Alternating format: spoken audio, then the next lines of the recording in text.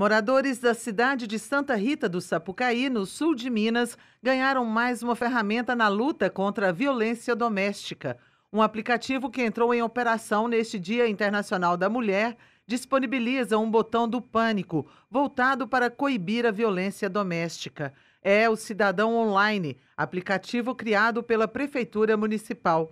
Santa Rita do Sapucaí é filiada à Associação Nacional das Cidades Inteligentes tecnológicas e inovadoras do Brasil. E o novo aplicativo é um dos módulos que a Prefeitura trabalha no projeto de tornar o município mais inteligente. Com cerca de 43 mil habitantes, Santa Rita é conhecida como pioneira em tecnologia graças às instituições de ensino, como o Instituto Nacional de Telecomunicações, Inatel, e a Escola Técnica de Eletrônica Francisco Moreira da Costa a primeira escola de eletrônica da América Latina.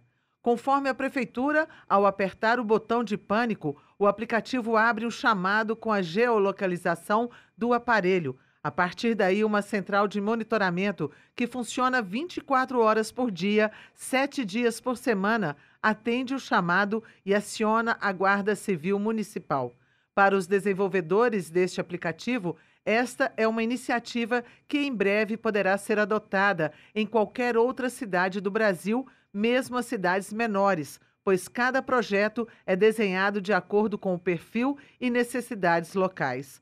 Segundo Leandro Garcia, presidente da Associação Nacional das Cidades Inteligentes, Tecnológicas e Inovadoras do Brasil, muito mais do que um termo, cidade inteligente significa uma mudança de cultura administrativa que deve resultar em qualidade de vida para todos os cidadãos e a segurança das mulheres contra a violência doméstica é uma prioridade.